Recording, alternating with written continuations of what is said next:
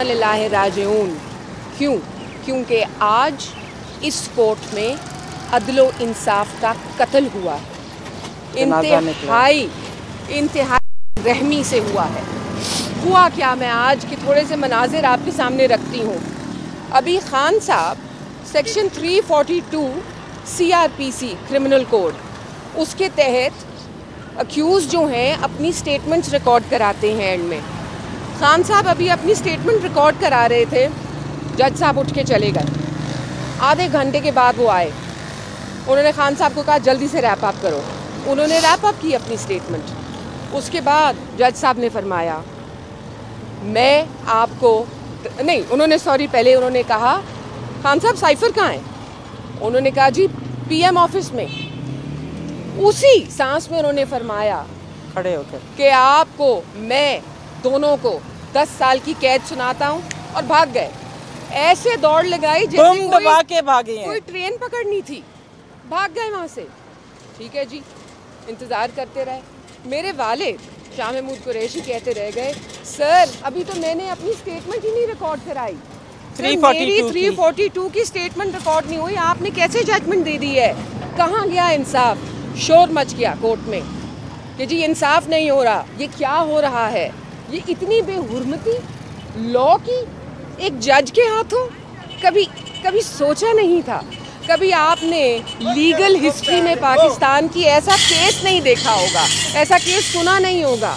आज मेरे वालिद ने खुद अपने लफ्ज़ से अल्फाज से फरमाया कि जी जुल्फ़िकार अली भुट्टो का केस भी चला। बहुत संगीन था, बहुत मुश्किल था, गलत हुआ। लेकिन ये तो उसको भी पीछे छोड़ गए। अच्छा जी 342 की स्टेटमेंट रिकॉर्ड नहीं हुई। जज साहब भाग गए।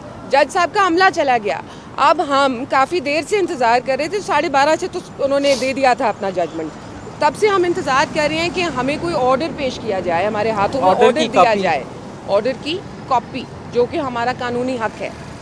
तो उस पर उन्होंने कहा जी जज तो घर पहुँच गए हैं और उनका अमला भी चला गया है। आपको कॉपी नहीं मिल सकती सॉरी जब तक आप साइन नहीं करेंगे तो वैसे ही आपको नहीं मिलेगी।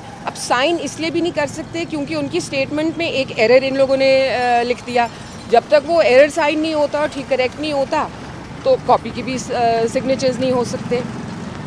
अब, एक और मतलब मजाकिया बात है कह देती हूँ आपसे। जो मेरे वालिद के स्टेट अपॉइंटेड काउंसिल से दो बड़ी मज़े की बातें हुई। पहली बात, उन्होंने खुद अपने मुँह से कहा कि, सर आपके साथ नाइंसाफ़ी हुई है। अभी ये स्टेट अपॉइंटेड लॉयर है ये हमारा लॉयर नहीं नहीं है। उसने कहा हमने कभी ऐसी ज्यादती नहीं होते देखी।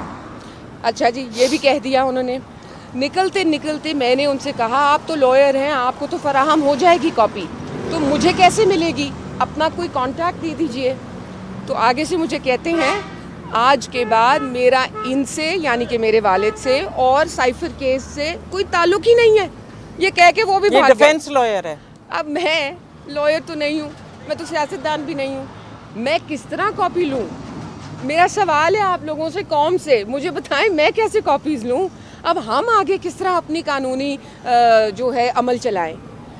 तो ये चंद बातें थी आपके सामने रखनी। खान साहब भी हैरान हम भी हैरान। पता था कि इसी तरह की कोई जजमेंट आएगी। जब हमने राइट किया ये हमें कल से जो रवैया देखा जा रहा है, उससे समझ आ रही थी कि कनेक्शन भी आज होनी है और कुछ होना भी है मज़ीद। आज जब मेरी वालदा और मैं सुबह आए तो रायट गेयर में पुलिस खड़ी हुई थी। हम तीन औरतें, चले, आज चार हो गई। हम चार औरतें हैं। इतनी ख़तरनाक हैं क्या कि रायट पुलिस बुलानी पड़ गई? मुझे तो नहीं मालूम था मेरे में इतना ख़तरा है या इतने ख़तरे की गुंजाइश है। आज पता चल गया। तो आज जो है ना दुख भी होता है अफसोस भी होता है। हँसी भी आती है। और हाँ हँसी भी आती है कि ना कानून रहा ना अदल ना इंसाफ ना उसकी गुंजाइश। बस एक शौक ही रह गया इंसाफ का। लेकिन हम हाई कोर्ट में गए हैं हम मज़ीद ज़रूरत पड़ेगी तो सुप्रीम कोर्ट में भी जाएँगे। हम बाजी नहीं हारेंगे हम हार नहीं मानेंगे। ये हम जंग जंग जीत के रहेंगे और इन आठ फरवरी को आपको नज़र आएगा।